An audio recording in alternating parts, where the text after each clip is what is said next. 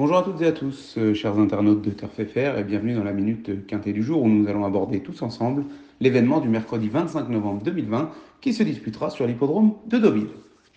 Revenons avant tout sur le Quintet de la veille qui avait lieu lundi sur l'hippodrome de Paris-Vincennes. Kalina, qui portait le numéro 1 et parfaitement drivé par le diable de Jean-Michel Bazir, s'impose avec beaucoup de marge. Top Prono s'illustre en donnant le tiercé dans le désordre de 205 euros 40 centimes, le quartet de 413 euros, ainsi que le quintet plus dans le désordre, ce dernier faisant tout de même 784 euros. Check 1, 2, 3 fait sauter la banque du côté du concours de prono gratuit. Avec un quintet dans le désordre accompagné des bonnes bases, il marque tout de même 758 points à son compteur. Derrière, Capot et Je bois que de l'eau complètent le podium du jour avec de belles réalisations également. Bravo à tous les trois. Allez, abordons maintenant le tiercé quarté quinté plus du mercredi 25 novembre 2020 qui se disputera une nouvelle fois sur l'hippodrome de Deauville. Cette fois, pas de handicap en tant que quinté plus, mais bien une liste de race avec le prix Lifar au programme. 14 galopeurs âgés de 3 ans et plus fouleront la piste en sable fibré et plus particulièrement le parcours des 1900 mètres. Si tout se passe bien pour nos préférés durant le parcours, il ne devrait pas se manquer.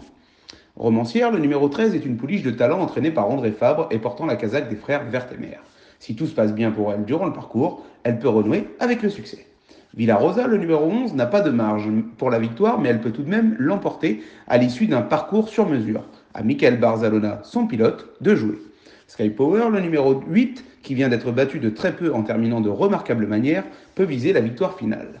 Bugle Major, le numéro 2, est un spécialiste du sable, et si Vincent Cheminot, son pilote, a l'inspiration, il ne devrait logiquement pas sortir des quatre premiers. Charles Quint, le numéro 7, confirmé et présenté par l'habile Yann Barbero, peut viser une place dans le quintet. Armless, le numéro 4, qui dispose d'un bon rush final et qui sera piloté par Pierre-Charles Boudot, aura logiquement des partisans. En cas de non partant, testons le numéro 3, courageux en diable, introduirait notre pronostic en 6 chevaux. Si vous avez aimé cette vidéo, les amis, partagez-la, lâchez un gros pouce bleu, commentez et abonnez-vous en activant la petite cloche pour être averti des prochaines vidéos. En attendant, très bon quintet plus à tous et à demain pour une nouvelle Minute Quintet.